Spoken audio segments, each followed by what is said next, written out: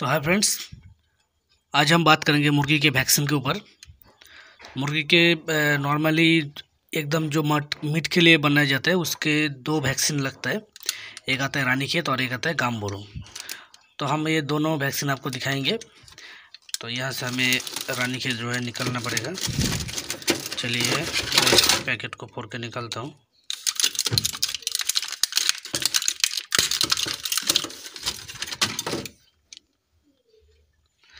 ये है रानी खेत एफ़ वन ठीक है?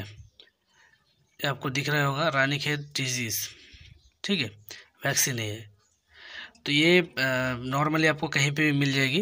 कहीं पे भी जो पशुओं का दवाखाना रहता है या फिर पशुओं का हॉस्पिटल रहते हैं। यानी हर एक ज़िले में एक पशुओं का हॉस्पिटल रहता है, वहाँ पे आपको ये मिल जाएगी। ये Ranikhet disease Newcastle disease vaccine live तो दो सौ डोज का ये, आपका दो सौ मुर्गी में आ जाएगा, दाम है अड़तीस रुपये तो ये नॉर्मली कहीं पे मिल जाएगी रानी खेत की, और यही सबसे बड़ी बीमारी रहता है मुर्गी में, जो गर्दन मरोड़ मरोड़ के मर जाता है, या फिर सांस से बड़ा बड़ा सांस से लेता है, ऐसे करके मरता है। ये आपको पानी जो डिस्टिल वाटर रहते हैं, उसमें मिक्स करके आँखों में एक एक बूंद डालना है। ये हो गया रानी खेत और ये आ गया गाम बोरो, आप देख सकती है।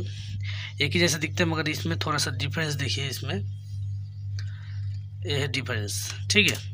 ये रानी खेत लिखा है, ये इनफोकस इन्फेक्शन ब्लूज लिखा है। रानी खेत का, रानी खेत लिखा है, ये यहाँ पे लिखा है इन्फेक्शन ब्लूज डिज़ीज़ वैक्सीन तो ये आपको समझना पड़ेगा, ये दोनों एक ही जैसा बोतल दिखता है और इसमें नाम अलग रहेगा। तो जो गाम्बोरो का वैक्सीन है, ये इनफोकस इनफोकस ब्लूज है इनफोकस डिज़ीज़ है। तो गामबोर का वैक्सीन हर जगह पे आपको नहीं मिलता है, क्योंकि ये थोड़ा महँगा रहता है तो इसलिए कोई भी नहीं रखता। देखिए, ये डबल रेट है इसका, ये बहत्तर रुपये मगर आपको कहीं भी बाज़ार में लेने गए तो इसे ज़्यादा लेगा। ये भी आपको पशु हॉस्पिटल या फिर जो पशुओं का दवाखाना रहता है, उसमें आपको मिल जाएगी। तो ये रहा दोनों वैक्सीन इसको आँखों में डालना है जो डिस्टिल वाटर के साथ घोल के ड्रॉफर से जो ड्रॉप रहता है ड्रॉफर से एक एक बूंद मुर्गी की आँखों में डालना है। इससे आपका काफ़ी हद तक बीमारियाँ नहीं लगेगी और मुर्गी स्वस्थ रहेगी। तो आप देख सकते हैं ये है रानी के पाँच से सात दिन और गामबरो बारह से पंद्रह दिन में दिया जाता है।